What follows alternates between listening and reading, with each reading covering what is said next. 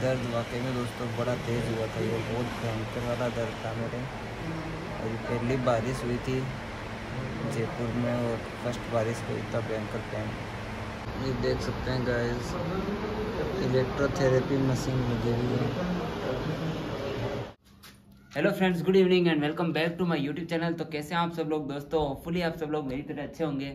तो दोस्तों, जैसा कि आपने मेरे पिछले वीडियोस में देखा था, मैं उत्तराखंड घूमने गया था दोस्तों। एंड वहाँ पे कौन कौन सी जगह गया था कौन कौन से टेंपल में गया था, वो सारा मैंने अपने वीडियोस में बताया है। एंड अपने लिए भी एक मेमोरी सेव कर दी यूट्यूब पे, जो कि हमेशा से मेरा रख रहा है कि यूट्यूब पे हर एक मेमोरी अपनी सेव रखूँ। और वहाँ से हम दोस्तों छः दिनों का टूर था, हम छः दिन घूम के वापस आ गए जयपुर। एंड गाड़ी में भी अभी कागज़ वाला काम सारा कंप्लीट हुआ नहीं है, वो भी अभी करवाना है तो उसके बारे में भी लगेंगे और अभी तो सब अच्छा चल रहा है एंड वहाँ पर मेरा किसी तरह का कोई भी दर्द नहीं हुआ, किसी तरह की कोई तकलीफ़ नहीं हुई थी और मौसम काफ़ी अच्छा था एंड इसी वजह से मैं इस महीने में जाने का मैंने ये प्रोग्राम डिसाइड किया क्योंकि अगले एक दो महीने बाद, तीन महीने बाद वहाँ पे बारिश भी बहुत होती है एंड नवंबर, दिसंबर में काफ़ी ठंड होती है। तो एंड मेरा इंजरी के बाद ये फ़र्स्ट एक्सपीरियंस था जाने का तो मैंने सोचा पहले एक ऐसे मौसम में जाते हैं जब सारा कुछ क्लियर रहे, किसी तरह की दिक्कत ना हो, क्योंकि सबसे ज़्यादा प्रॉब्लम मेरे मेरे को सबसे ज़्यादा प्रॉब्लम मेरे को पैरों में दर्द की लगती है कि कहीं सडनली दर्द ना बढ़ जाए पैरों में एंड उसको फिर अपन कैसे मैनेज करेंगे? क्योंकि फैमिली से परमिशन लेना भी काफ़ी एक अपने आप एक बड़ा टास्क था। तो उन लोगों को भी मैंने कन्विंस किया एंड अच्छे से जाकर आया वापस। उस वक्त भी एक तरह से मैं काफ़ी चलता भी हूँ। मैं ऐसा नहीं है, गाड़ी में बैठा रहता हूँ।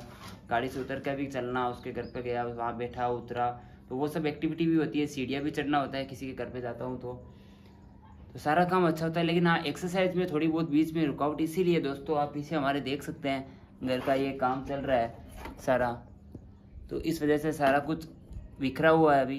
तो दोस्तों, बहुत भयंकर वाला दर्द स्टार्ट हो गया है। कल बारिश हुई थी एंड बारिश में और बादलों जैसा मौसम हो रखा था, उस वजह से पता नहीं शायद क्यों हिप पे एंड काफ मसल में पिंडियों में। इस टाइप का दर्द हो रहा है, मैं आपको एक्सप्लेन करना चाहूँगा, जैसे कोई बड़ी सी कील या फिर ऐसा कुछ लोहे का जो अपने लगाए काफ मतलब ज़ोर से चुभाएँ एंड दबा दें उसको और फिर वापस निकालना है। उस तरह का दर्द हो रहा है और उसको दूसरा दिन है, कल भी मैंने टेबलेट लिया था, मैंने सोचा टेबलेट से आराम हो जाएगा, लेकिन कुछ भी आराम नहीं हुआ।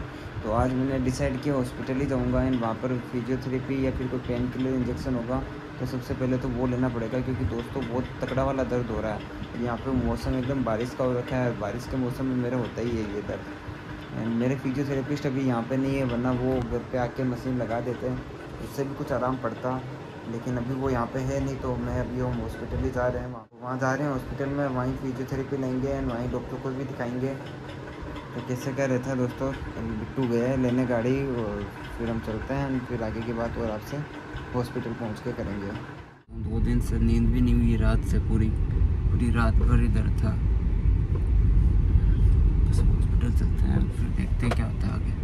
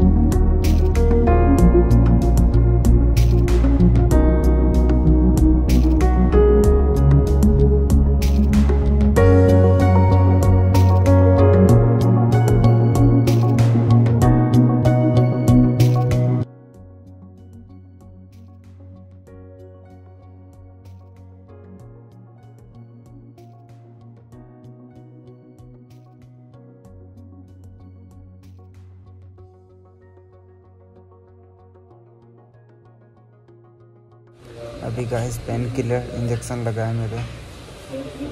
पंद्रह बीस मिनट हो गए, उससे अभी तक तो कुछ आराम नहीं पड़ा देखते हैं अभी क्या होता है। मशीन लगाएँगे दोस्तों इलेक्ट्रोथेरेपी की। पेन किलर इंजेक्शन तो लगा है एंड अब फिजियोथेरेपी ले रहे हैं। उसके बाद देखते हैं दर्द कम होता है या नहीं होता। ये देख सकते हैं गाइस इलेक्ट्रोथेरेपी मशीन लगी हुई है।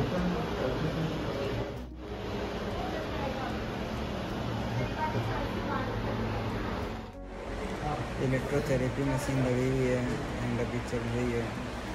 दर्द तो कम नहीं हुआ है आई थिंक थोड़ी देर बाद दर्द कम हुआ दर्द वाकई में दोस्तों बड़ा तेज़ हुआ था, ये बहुत भयंकर वाला दर्द था मेरे। अभी पहली बारिश हुई थी जयपुर में और फ़र्स्ट बारिश को इतना भयंकर टाइम आगे पता नहीं और कितनी बारिशों में कैसा क्या दर्द होगा